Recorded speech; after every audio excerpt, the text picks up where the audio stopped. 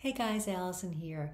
I want to talk about one of my favorite saints, Saint Joseph, and a prayer that I heard recently that really kind of made a big impression on me.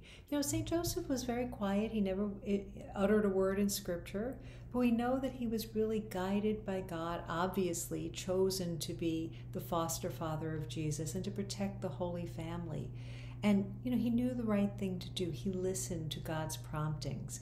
And when we turn to St. Joseph for intercession, I mean, he's a powerful, powerful intercessor, and we should really, really take advantage and really, you know, kind of have that relationship with him. But this was the prayer that was shared, and I thought it was really beautiful. Sometimes when we really don't know what to do, to say, St. Joseph, what would you do in my circumstances? And please intercede for me to do the same we don't even have to know what the, the answer is, right? If we can't figure it out right now, let's get him on it, right? So, St. Joseph, what would you do in my circumstances? And please intercede for me to do the same. I think that's just beautiful. Again, get to know this wonderful saint, St. Joseph, and get him on your team because he's really he's really there for us. Hope you find that helpful.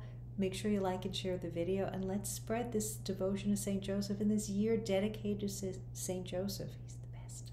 God bless you.